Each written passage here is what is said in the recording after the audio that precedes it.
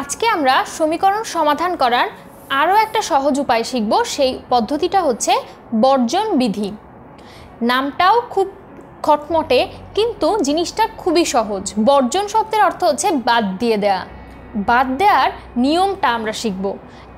এই বাদ দেওয়া বা বর্জন বিধিটা আমরা দুই ক্ষেত্রে ব্যবহার করতে পারি। একটা হচ্ছে যোগের ক্ষেত্রে, আরেকটা হচ্ছে গুণের ক্ষেত্রে।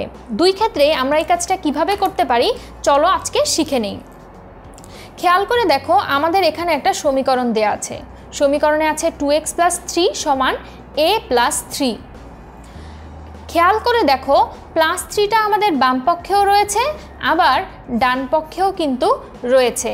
তো আমরা বর্জন বিধি ব্যবহার করে যে কাজটা করতে পারি সেটা হচ্ছে বাম পক্ষ এবং ডান পক্ষে যদি একই ধরনের জিনিস থাকে, সেটাকে বাদ দিয়ে দিতে পারি। এখন তুমি বলতে পারো, কেন আমরা বাদ দিয়ে দিলাম? দুইটা জিনিস দুই পাশ থেকে বাদ হয়ে কি ইকুয়েশনটা ছোট হয়ে গেল না?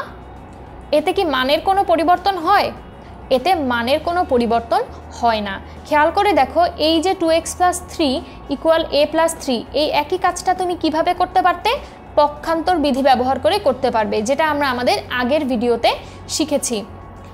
তো এই যে টু এক্স এবং এখানে যে থ্রিটা আছে, এটাকে যদি তুমি ওই পাশে নিয়ে যেতে চাও, তাহলে কি করতে হবে বলো তো প্লাস থ্রিটা থাকবে, এটা এবং এই প্লাস থ্রিটা হয়ে যাবে একটা মাইনাস থ্রি এবং খেয়াল করে দেখো, এই থ্রি মাইনাস থ্রি কিন্তু জিরো সুতরাং তোমার কিন্তু শুধু টু এক্স ইকুয়াল এই থাকছে।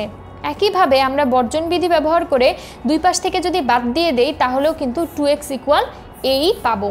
অর্থাৎ বর্জন বিধি ব্যবহার করে আমরা যে কাজটা করতে পারি, সেটা হচ্ছে দুই পাশে যদি একই জিনিস যোগ বা বিয়োগ আকারে থাকে, তাহলে তাদেরকে বাদ দিয়ে দিতে পারি। এটা হচ্ছে যোগের বর্জন।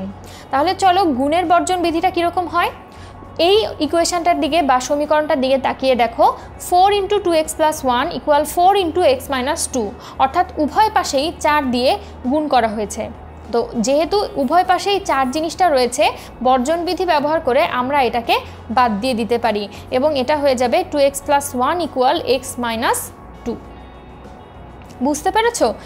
এই একই এই কাজটা আসলে কীভাবে করা যায়? দেখো তো, তোমাকে যদি বলা হয় টু ইকুয়াল মনে করো তোমার কাছে এরকম একটা ব্যাপার আছে যে মনে করো two x equal two into two তো উভয় পাশ থেকে আমি যদি টু বাদ দিয়ে দেই, তাহলে আমরা কি পাবো?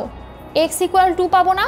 এই কাজটাই আমরা বর্জন বিধি ব্যবহার করে করতে পারি যে উভয় পাশে যদি একই জিনিস গুণাকারে থাকে, তাহলে আমরা সেটাকে ভাগ করে বাদ দিয়ে দিতে পারি।